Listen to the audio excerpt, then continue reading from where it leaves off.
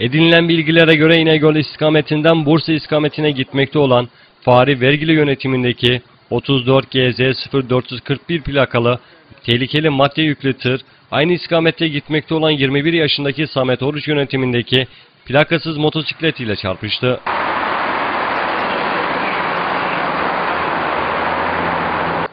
Çarpışma anında motosikletten atlayan Samet Oruç, kazada hafif şekilde yaralanırken motosiklet ise tırın altında yaklaşık 50 metre sürüklendi.